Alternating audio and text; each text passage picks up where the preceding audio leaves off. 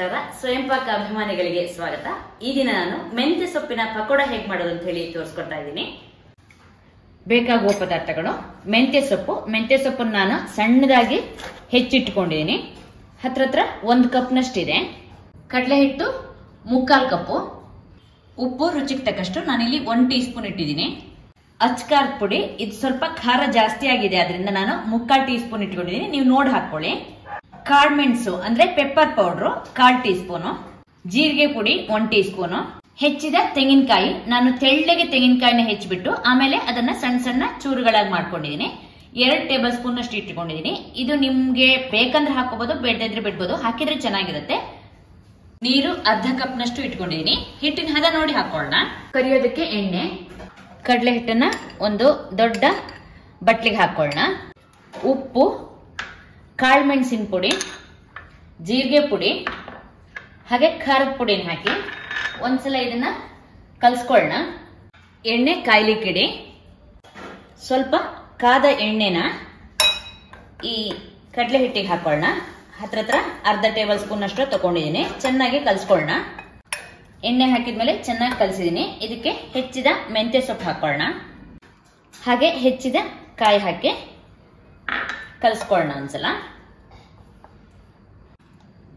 ನೀರು ಹಾಕಿ ಇದನ್ನ ಪಕೋಡ ಹಿಟ್ಟಿನ ಹದಕ್ಕೆ ಕಲಿಸ್ಕೊಳ್ಳೋಣ ಹಿಟ್ಟನ್ನು ನೋಡಿ ನಾನು ಈ ಹದಕ್ಕೆ ಕಲಿಸ್ಕೊಂಡಿದ್ದೀನಿ. ಹೆಚ್ಚು ನೀರು ಹಾಕಬೇಡಿ ನೀವು. ಸ್ವಲ್ಪ ಈ ಥರ ನೋಡಿ ಇಷ್ಟು ಗಟ್ಟಿಯಾಗಿ ಇರಲಿ.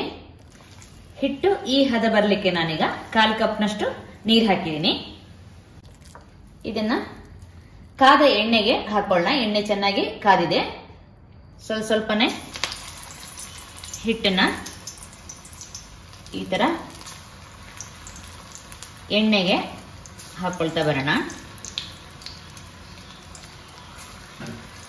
ಎಷ್ಟು ಎಣ್ಣೆಗೆ ಹಿಡಿಸುತ್ತೋ ಅಷ್ಟು ಹಾಕಿ. ಇದನ್ನ ತಿರ್ಸಿ ಹಾಕೊಳ್ಳೋಣ. ಎಲ್ಲ ಕಡೆ ಕೆಂಪಗಾಗುವಂತೆ ಕಾಯಿಸ್ಕೊಳ್ಳೋಣ. ಮೀಡಿಯಂ ಊರಿನಲ್ಲಿ ಇಟ್ಕೊಳ್ಳಿ. ಈಗ ನಾನು ಕೆಂಪಗೆ ಇದನ್ನ ಕರೆದಿದ್ದೀನಿ. ಇದು ಆಗಿದೆ. ಇದನ್ನ ತೂತಿನ ಜಾಕ್ನಿಗೆ ತೆಕ್ಕೊಳ್ಳೋಣ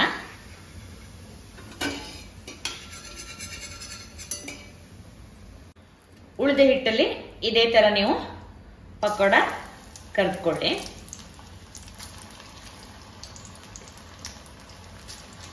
ಹಿಟ್ಟು ನೀವು ಜಾಸ್ತಿ ಹಾಕಬೇಡಿ. ಒಂದಿಷ್ಟು ಹಾಕಿದ್ರೆ ಸಾಕಾಗತ್ತೆ.